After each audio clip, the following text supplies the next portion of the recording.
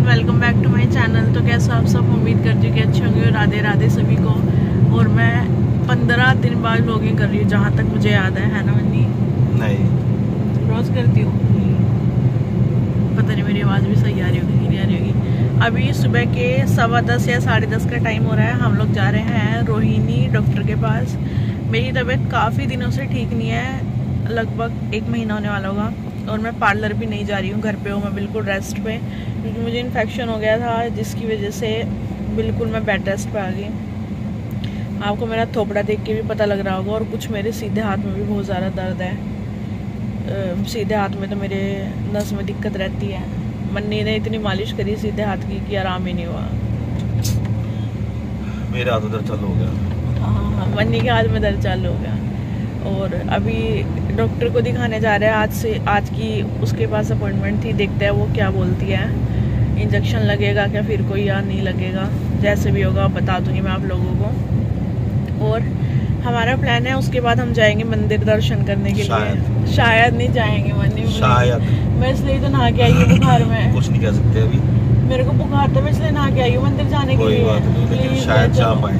शायद नहीं हम जा पाएँगे। बहुत मुश्किल है वैसे जाना। जा पाएँगे। क्योंकि मेरे को थोड़ा सा बहुत समय की वो है क्या समय का भाव है। अभाव है। इस बंदे को समय का अभाव ही रहता है मेरे लिए। मेरे को एक बार काम है कुछ इसलिए। प्लीज़ ना दो मिनट के लिए दर्शन करा देना बिहारी जी के। देखते हैं। क्या बोलूँ मैं? क्या नहीं तुम लोग एक्सपेक्ट क्या कर रहे हो? इस वक्त मैं क्या बोल सकता हूँ?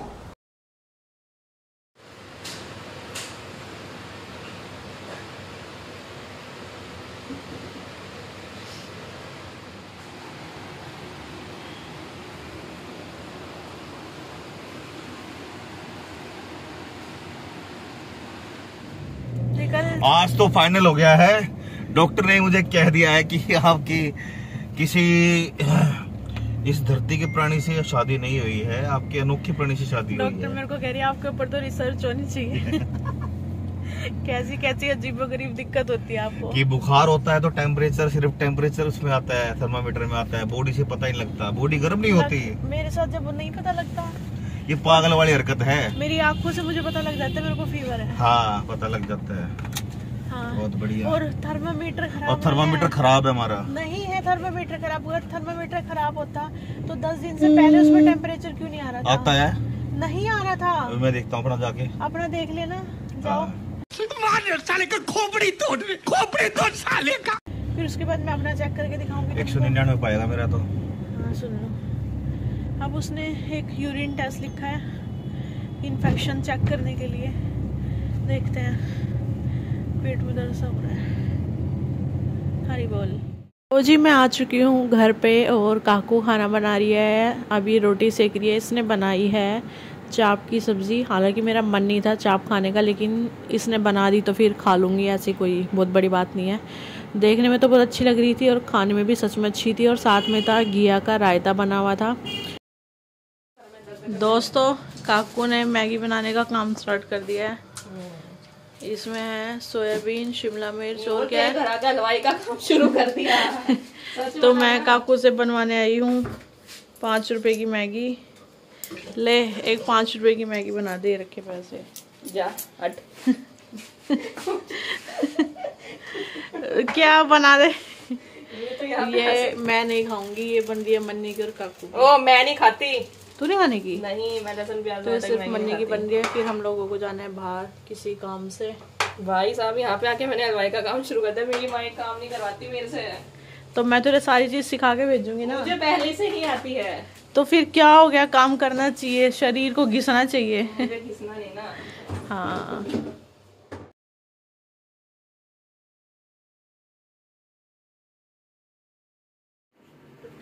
क्या कैसी लगी मैगी?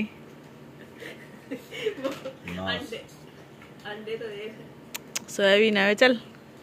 तो कोल्ड ड्रिंक दी तो है साथ में पीने के लिए। सट को। ये सोयाबीन का साइज़ ज़्यादा मोटा हो गया। लाने वाला खुला है खाने। तुम इतनी बड़ी सोयाबीन खिलाई हो फिर। अरे पानी में फूल के पानी में डल के और फूल जाती हैं। अच्छी नहीं लगी। अगली बार तुम बनाओगे फिर। उल्टी देगा मैं सारी। वापस बेचना हमारे नरेला में भी वड़ा पाव खुल चुका है। तो हम क्या करें खाओगे वड़ा पाव? चलो फिर फटाफट खा लो चलो।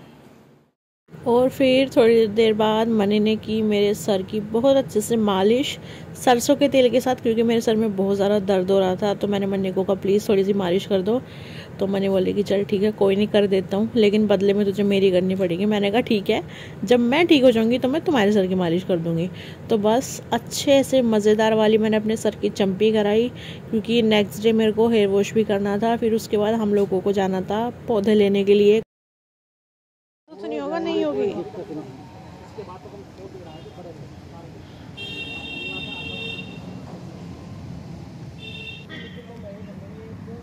कौन सा फूल है? चार गमले। कलर सुंदर है इनका।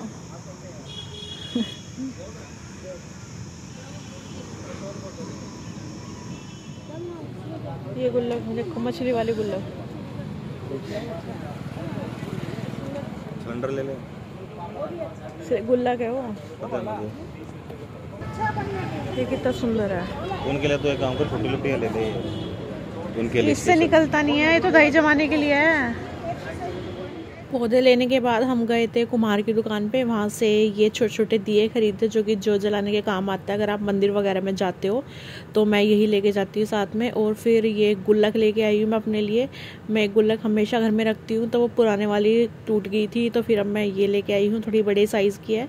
और पानी के दो कटोरे लिए थे, ये भी बड़े साइज़ के, ये भी डोगी के लिए लिए हैं। तो जी, घर पे मैं आ चुकी हूँ और ये ब्लॉग ना मैं काफ़ी दिनों बाद अपलोड कर रही हूँ। आपको भी थोड़ा मेरा शक्ल, मेरी थोड़ी शक्ल देख के भी पता लग चुका होगा कि मेरी तबीयत ठीक नहीं कि मेरी तबीयत ठीक नहीं है। अभी रात का टाइम हो रखा है, मैंने पीछे रिंग लाइट जलाई है, फिर भी लोगों को शांति नहीं है। तभी शोर करना होता जब मैं अपने ब्लॉग्स बना रही होती हूँ। और एक महीने से भी ऊपर हो चुका है, मैंने व्लॉगिंग नहीं की। की है ये वीडियो थोड़ी थोड़ी थोड़ी थोड़ी बनाई है मैंने, जैसे तैसे करके। क्योंकि अब मैं थोड़ा पहले से बेटर फील कर रही हूँ, मुझे इन्फेक्शन बहुत ज़्यादा हो गया था यूरिन इन्फेक्शन ज़्यादा हो गया था, जिस वजह से कि मैं बिल्कुल ही बेड रेस्ट पे आ चुकी थी। एनर्जी लेवल मेरा बिल्कुल डाउन हो गया था, लेकिन अब मैं पहले से बहुत ठीक फील कर रही हूँ अच्छा फील कर रही हूँ। लेकिन अभी भी वो एनर्जी नहीं आई है पहले वाली तो मैं धीरे धीरे वापस से ट्राई करूँगी। ट्रैक पे आ जाऊँ, हर एक दो दिन बाद ब्लॉग्स अपलोड करूँ, बाकी तो देखते हैं। कैसे क्या चलता है लाइफ में, कुछ नहीं कह सकते। अभी और पीछे लड्डू, माधव और बाबा सब बैठे हुए हैं। उनको भी दूध पिला के भी सुला दूँगी और इस ब्लॉग को भी यहीं पेन करती हूँ। तो आप लोगों से मिलूँगी मैं अगले ब्लॉग में। तब तक के लिए राधे राधे सभी को, हरी बोल बाय बाय और मेरे तो एक एकादशी के व्रत भी छूट गया है तबीयत की वजह से दिन में इतनी सारी दवाइयाँ खानी पड़ती है। मतलब चार चार ग्यारह बारह टैबलेट्स दिन में मेरे को खानी पड़ी है, जो मैं स्किप ही नहीं कर सकती, सुबह, दोपहर, शाम को।